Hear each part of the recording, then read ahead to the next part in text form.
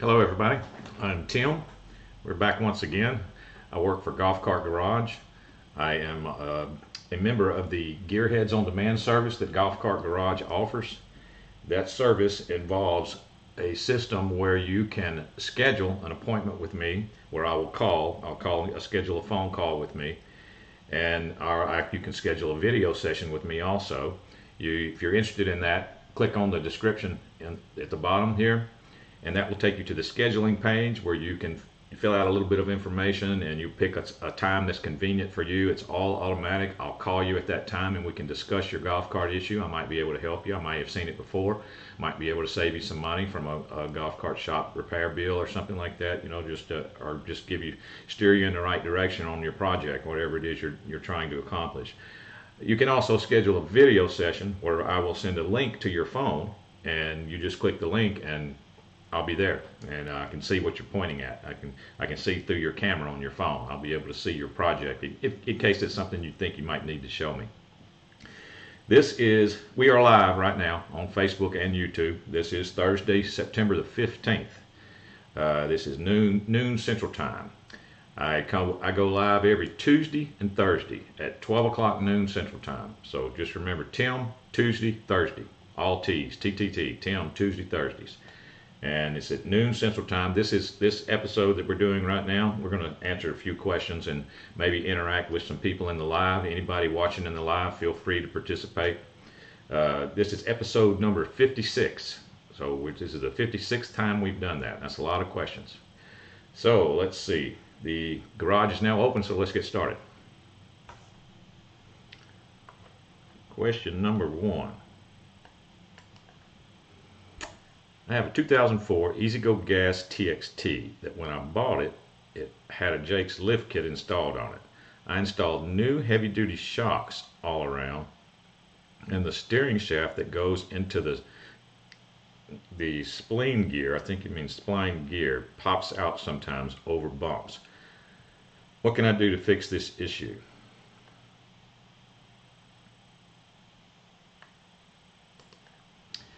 Well, generally, uh, I know what you're talking about. You're talking about your steering rod is in a gear that has a, a, little bit of slack in it for when your shocks go up and down. The rod has, has a place to go.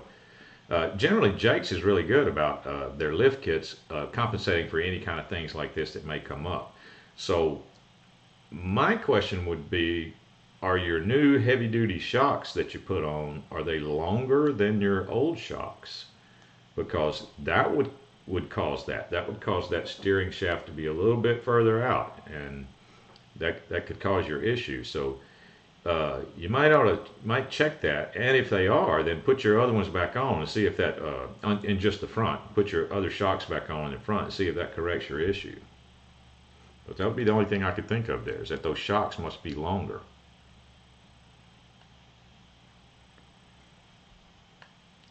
Number two, I have an older club car that seems to stutter when starting to move. What causes this?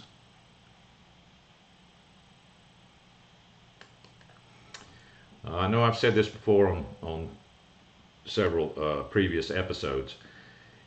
Anytime a customer would come into my shop and they would describe uh, their symptom in their electric car as a stutter or a shudder, it is almost always, almost always battery related and doesn't necessarily mean a bad battery, but it can mean a bad battery or a low a battery that's weaker than the rest.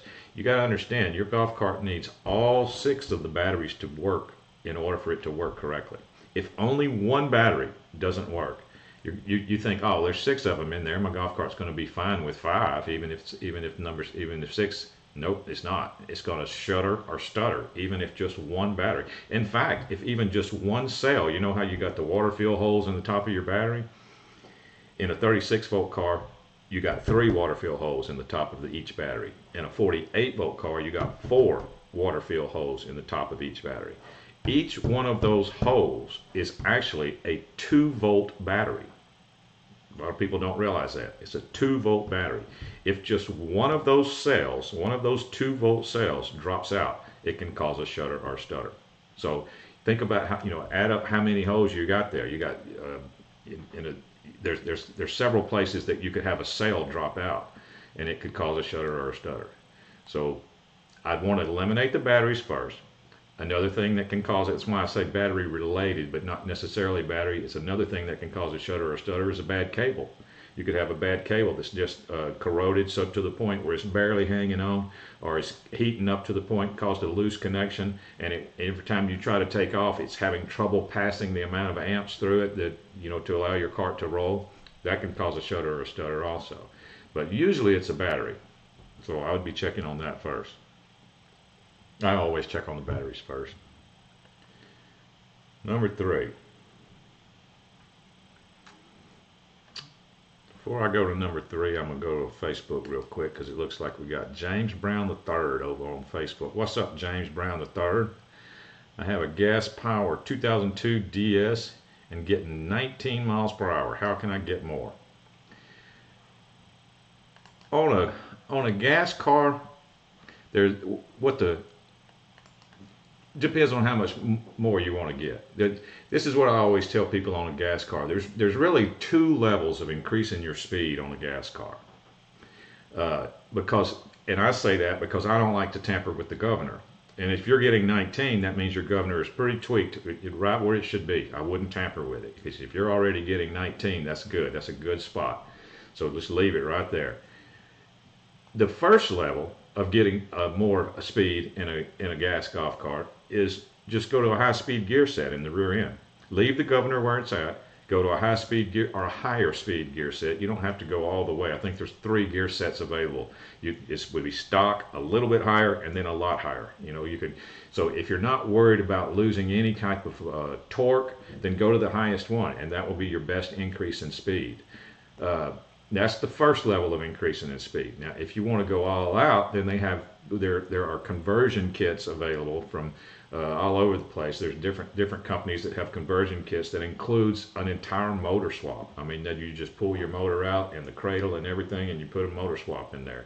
You, it changes to a you know your golf cart probably has like a 13 horsepower motor. You can put 22 horsepower motor in there in, with these conversion kits. So that's the next level after that, you know, of speed. So and if you're just looking for 19, you're at 19 now and you're looking to go about 25, something like that, 25 to 30 in that range, then get a high-speed gear set, and, and that it'd be done. Then you want, then you know your car is going to run exactly the same.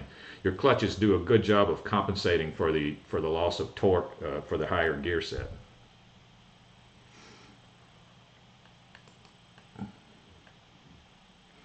James says 22 to 25. James Brown the third. Hmm. Are you kin to the to the real James Brown? I wonder. Let's see.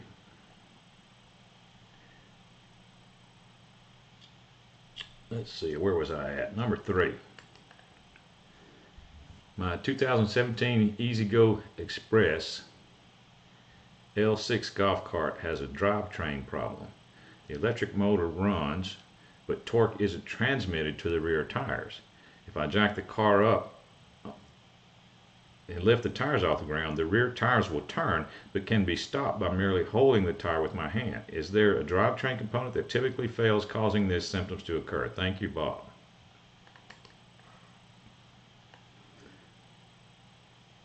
That's number three. James says, LOL, I wish. when I asked him about being kin to, the real James Brown. Yep, That's, I hear you. All right, on number three. Now, let me tell you this: it is normal if you put a if you jack up the rear of a golf cart. It is normal. You know, you get the tires off the ground. You can hold one tire and stop it and the other one will spin. And then you can go around to the other side and hold that one tire and stop it with your hands, and the and the other tire will spin. That is normal. It's because you have an open rear end. It's, it's designed that way so they you won't tear up grass or anything when you're riding around on a golf course. Now, what you were talking about when it's on the ground, and you said that the, you can hear the motor running, but the, it's not transmitting power to the wheels. It's not going. If if you can actually hear the motor spinning and it's not going, that means both wheels are stopped and something is turning. All right, so in that case, I would I would suspect that you have done what we call you've spun a hub, like a, uh, your your brake hubs are on a splined axle shaft, and you've stripped out the hub. So the way to check that is uh, go ahead and put it on the ground. If you have a wheel cover or something on, on a hubcap on your rim, take it off so you can see the axle nut. You just take everything off you need to in order to be able to see the axle nut. Then put it in forward, turn the key on, and touch the gas pedal and watch if you see if that axle nut is spinning. And then check that side and then go to the other side and check the other side. If you if you see that axle spinning and the wheel's not turning, then that's exactly what you've done. You've stripped a hub. That's fairly common in certain types of cars.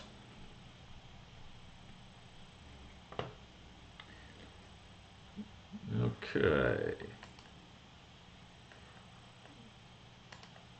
Number four is where we're at.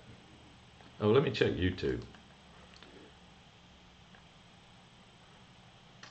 I don't see anybody in YouTube there.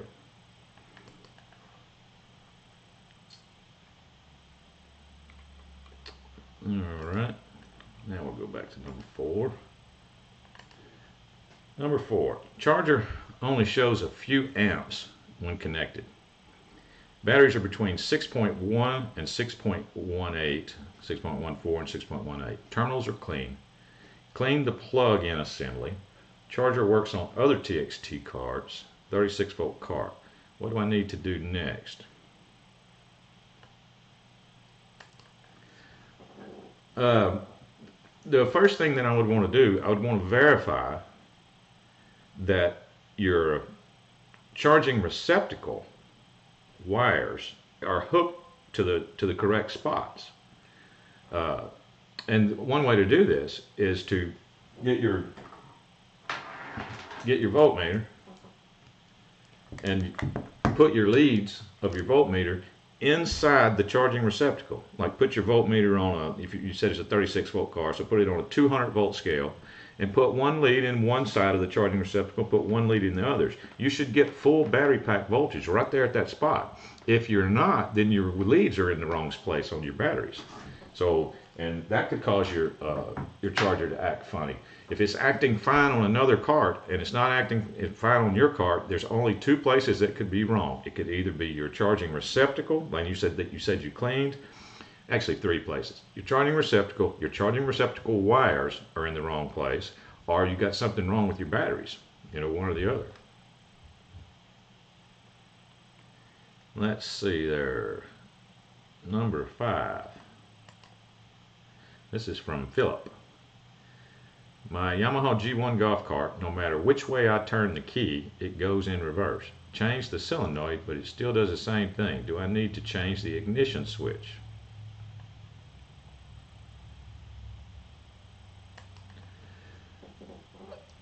Well, on a Yamaha G1 gas, I'm assuming we're talking about gas, uh, a gas golf cart here. I have one, and that's how you change it, That's how you change from forward to reverse is with the key. You, you, turn it to the right and you're in forward, you turn it to the left and it reverse buzzer comes on and, and it goes backwards. The engine actually spins backwards. Now, the way that this is accomplished is with reversing solenoids, plural, two. There's two solenoids. You said you changed the solenoid. Well, the G1 gas has two solenoids, uh, supposed to.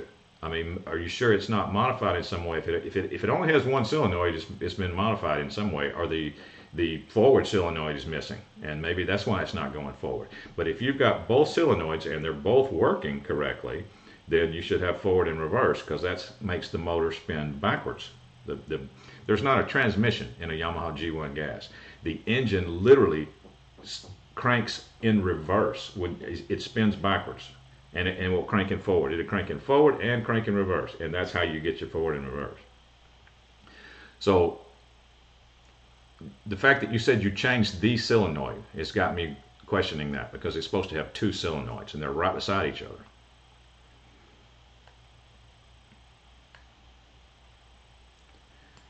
Number six, this is from Scott. I'm constantly getting an abnormal charging cycle with my Yamaha charger. I'm guessing I need a new charger. Last year, a Navitas motor and controller were installed, but it did not fix how the cart charges. Yeah, motor and controller is not going to change the charging issue. Uh, you could have there's there's not very many components involved in that charger, and I know what you mean by abnormal charge. It's got a little yellow light on that particular charger that says abnormal charge cycle. I have found in the past that if sometimes when that happens, if you'll do it again, it will it'll go through a normal charge cycle. It's got some kind of safety thing in there that it's registering some type of fault that's causing that to come on if everything's working properly and if your batteries are, are working properly. So this is one of those times when I really would like for you to take that charger and put it on someone else's Yamaha and just verify there's nothing wrong with that charger first. Make sure that it doesn't come up abnormal charge cycle on, on someone else's cart too. And then we could concentrate on the inside of the charger. It might just need a new circuit board and uh, you know that would clear that up. But if it works fine on someone else's cart, then you got a battery issue going on most likely with yours. But I know it's not always hard. It's not always easy to find another person's golf cart that accepts the same. That's a very common Yamaha. You're just going to have to find a Yamaha somewhere and to, to try to verify that that charger is fine. That was number six. Let's go over here. That looks good on Facebook. And we got Kurt Bauer in on YouTube. What's up, Kurt Bauer? Hey Tim, on a Lester Summit 2, what happens when after it shows 100% charge, why does it continue to charge on phase 4? Well, I would want you to verify what what it's doing on phase 4 uh, with a voltmeter. Uh, I mean, are you saying you got to understand it's not going to go to the storage mode function. I don't even know how much time it takes for the Summit 2 to go into the storage mode function. And that's where it's literally going to shut off and, and then come back on, uh, you know, occasionally. Uh, I don't remember, I'd have to look in the manual somewhere where it talks about that. But you're your golf cart voltage, full voltage, is going to get up to over 60 volts probably. If you're talking about a 48 volt car, that Summit 2 could be used on 36 volt car also. And if that's the case, it could get up to over, it could get up to about 48 volts uh, before it, you know, decides to switch to the storage mode function. Uh, so it, I'd want to verify that it is still going full blast, you know, at 100% uh, charge at, on, on phase four uh, with a, with a voltmeter. You know, what kind of what kind of readings are you getting? Uh, where you, when you think it should be shutting off. Let's see here.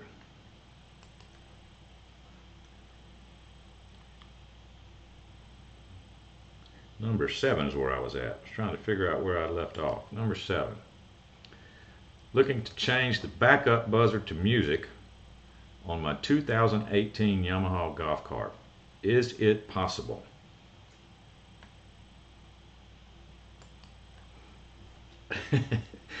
you get the prize for for today because that's another first. I've never had anyone ask me that question, and that doesn't happen very often. And then when it does happen, I like to point it out. I've never had someone request to make their reverse buzzer music, so you get the prize. Uh, if I was if I had merchandise I could give away, I would give it to you for asking a question I've never been asked before. Now, to answer your question, if, is it possible? I would think that it, anything is possible if you do enough research and throw enough money at it. So, the first thing that I would want to do is like, what kind of musical device are you planning on running? Because, you know, then we need to talk about what kind of voltage it runs off of, the musical device that you're trying, you know, that's going to transmit the music. Then we got to figure out how much voltage is going to your reverse buzzer. Uh, so most people just want to eliminate the reverse buzzer. So, you know, this, this is a new one on me. So that would take some research. That would take a little bit of research. But good question though.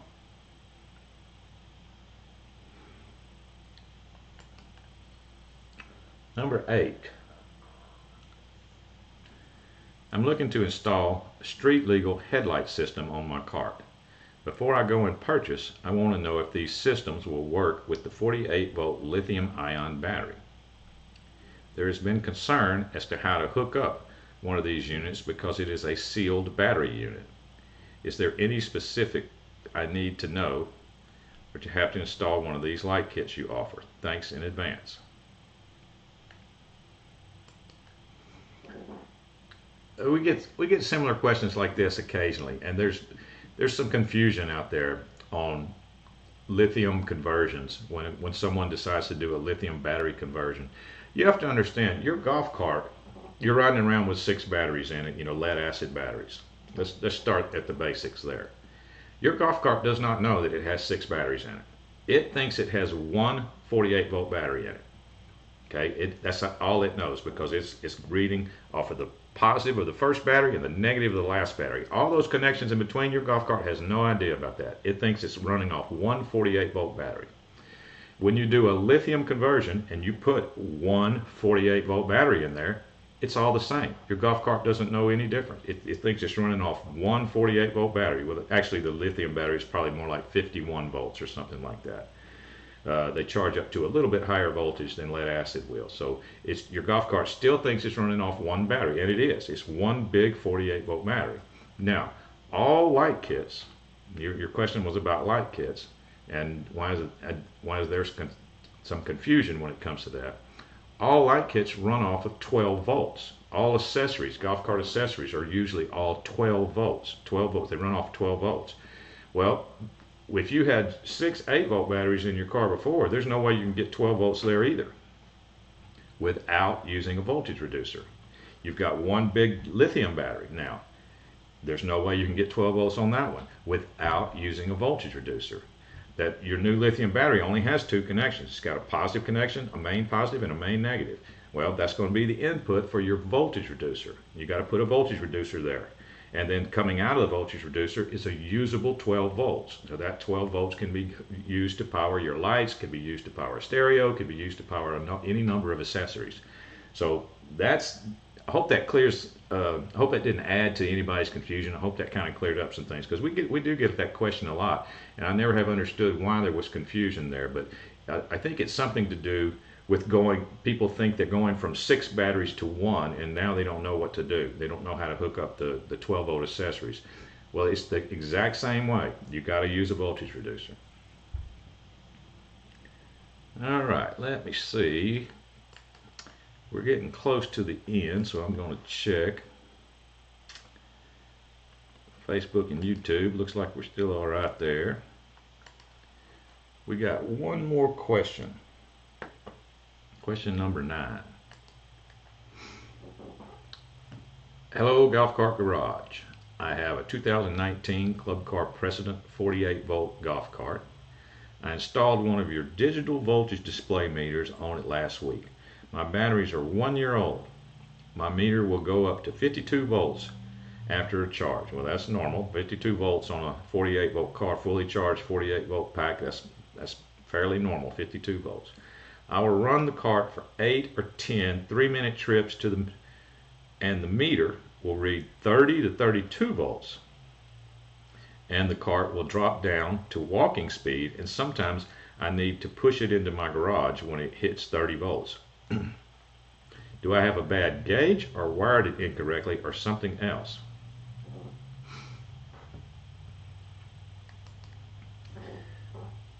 Well, your your battery meter is actually telling you what is wrong.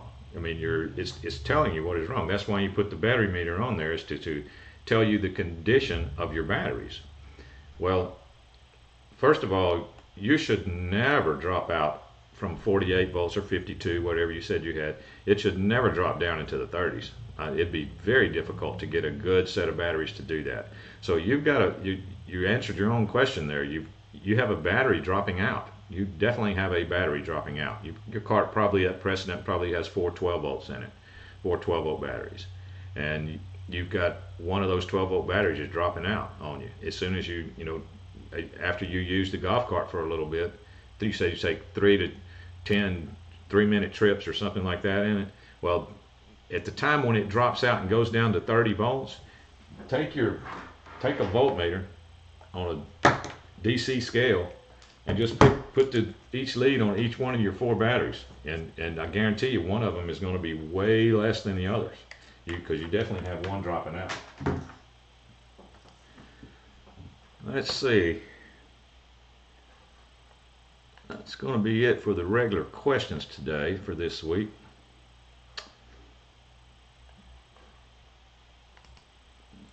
All right, don't forget, My name is Tim with Golf Cart Garage. I am a big part of the Gearheads on Demand service.